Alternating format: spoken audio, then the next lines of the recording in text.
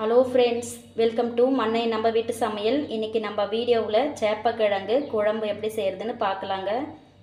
இப்போ இந்த குழம்பு செய்யறதுக்கு கால் கிலோ இரநூத்தி ஐம்பது கிராம் சேப்பக்கிழங்கு எடுத்துருக்கேங்க. இப்போ சேப்பக்கிழங்க குக்கரில் போட்டு ஒரு விசில் வந்த பிறகு எடுத்து அது மேலே உள்ள தோலெல்லாம் எடுத்துட்டு இந்த மாதிரி ரவுண்டாக கட் பண்ணி எடுத்து வச்சுருக்கேங்க. இப்போ ஒரு பேன் சூடு பண்ணியிருக்கேங்க இதில் ரெண்டு டேபிள் ஸ்பூன் அளவு எண்ணெய் ஊற்றிக்கலாங்க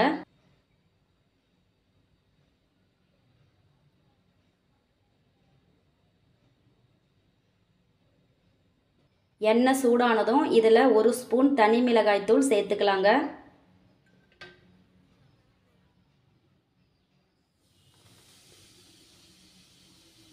அடுப்பை மிதமான தீலையே வச்சுக்கோங்க.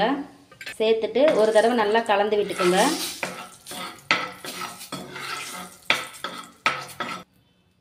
இப்போ இதில் நம்ம கட் பண்ணி எடுத்து வச்ச சேப்பக்கிழங்க சேர்த்துக்கலாங்க.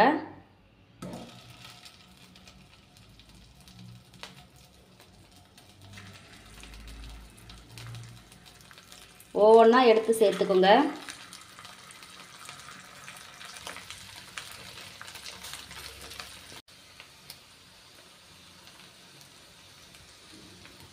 இப்போ எல்லா கிழங்கும் எடுத்து போட்டுக்கிட்டோங்க. இந்த மாதிரி நம்ம செய்யும் போது சேப்பக்கிழங்குல இந்த வழவழப்பு தன்மை வந்து இருக்காதுங்க.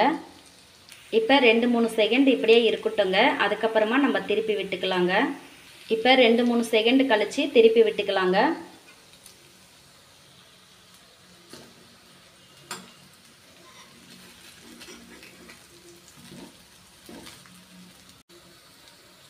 இப்போ இதே மாதிரியே எல்லாமே திருப்பி விட்டுக்குங்க. இப்போ ரெண்டு பக்கமும் நல்லா வறுபட்டதும் எடுத்து ஒரு பிளேட்டுக்கு மாற்றிக்கலாங்க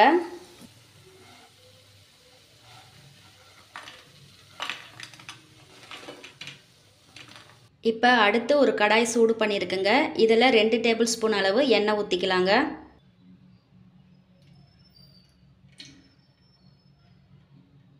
எண்ணெய் சூடானதும் அரை ஸ்பூன் சோம்பு சேர்த்துக்கலாங்க. சோம்பு பொரிஞ்சதும் பத்து சின்ன வெங்காயம் இந்த மாதிரி ரெண்டாக கட் பண்ணி சேர்த்துக்கோங்க.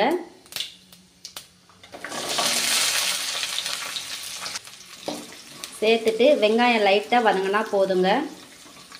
இப்போ வெங்காயம் லைட்டாக வதங்கினதும் இது கூட ரெண்டு தக்காளி மீடியம் சைஸில் இந்த மாதிரி கட் பண்ணி சேர்த்துக்கோங்க.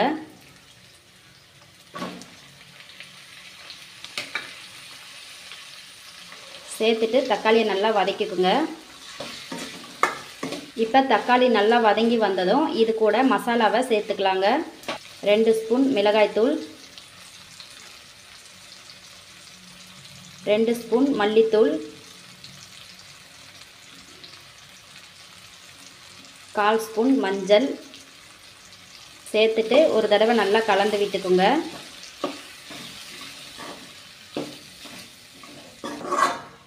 இப்போ மசாலாவை நல்லா கலந்து விட்ட பிறகு இது கூட அரை முடி தேங்காவை துருவி எடுத்து வச்சுருக்கேங்க. இப்போ இதில் சேர்த்துக்கலாங்க.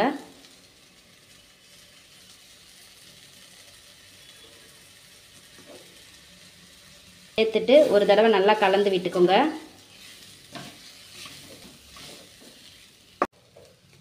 இப்போ நல்லா கலந்து விட்ட பிறகு அடுப்பை ஆஃப் பண்ணிவிட்டு இதை அப்படியே வேறு பிளேட்டுக்கு மாற்றிக்கலாங்க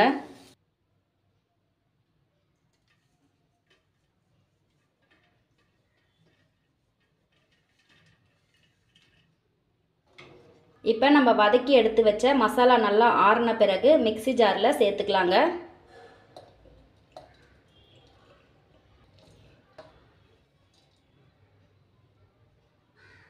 சேர்த்துட்டு கொஞ்சமாக தண்ணி ஊற்றி நல்லா நைஸாக அரைச்சி எடுத்துக்கலாங்க.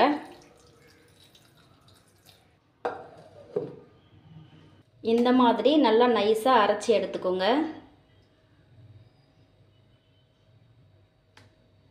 அடுத்து ஒரு பேன் சூடு பண்ணியிருக்கேங்க. இப்போ இதில் ஒரு டேபிள் ஸ்பூன் எண்ணெய் ஊற்றிக்கலாங்க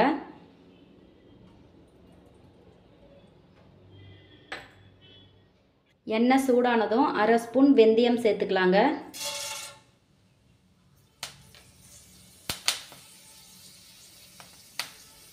வெந்தயம் பொறிஞ்சு வந்ததும் நம்ம அரைச்சி எடுத்து வச்ச மசாலாவை இதில் சேர்த்துக்கலாங்க. சேர்த்துட்டு ஒரு தடவை நல்லா கலந்து விட்டுக்குங்க. இப்போ நல்லா கலந்து விட்ட பிறகு குழம்புக்கு தேவையான அளவு தண்ணி ஊற்றிக்கலாங்க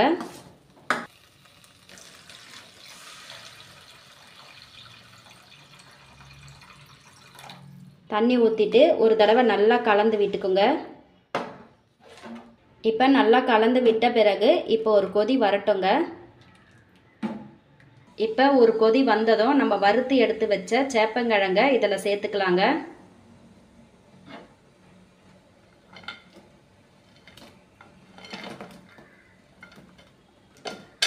இது கூடவே சின்ன நெல்லிக்காய் சைஸில் புளி எடுத்து ஊற வச்சு கரைச்சி எடுத்து வச்சுருக்கேங்க.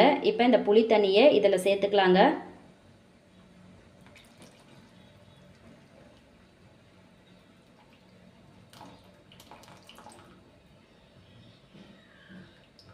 சேர்த்துட்டு குழம்புக்கு தேவையான அளவு உப்பு சேர்த்துக்கலாங்க.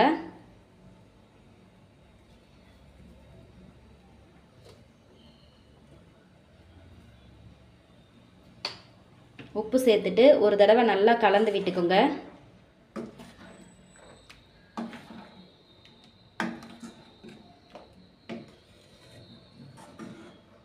இப்போ நல்லா கலந்து விட்ட பிறகு ஒரு தட்டு போட்டு மூடி பத்து நிமிஷம் குழம்பு நல்லா கொதிச்சு வரட்டுங்க.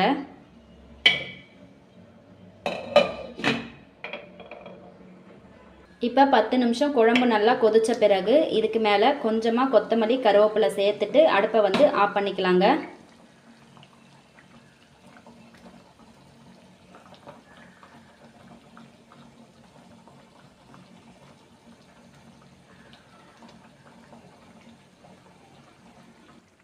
அவ்வளோதாங்க. ரொம்பவே சுவையான சேப்பங்கிழங்கு குழம்பு வந்து ரெடி ஆகிடுச்சிங்க கண்டிப்பாக நீங்களும் இந்த மாதிரி செஞ்சு பாருங்கள் இந்த ரெசிபி உங்களுக்கு பிடிச்சிருந்தா லைக் பண்ணுங்கள் கமெண்ட் பண்ணுங்கள் ஷேர் பண்ணுங்கள் மறக்காமல் நம்ம சேனலை சப்ஸ்கிரைப் பண்ணிக்கிங்க. Thank you friends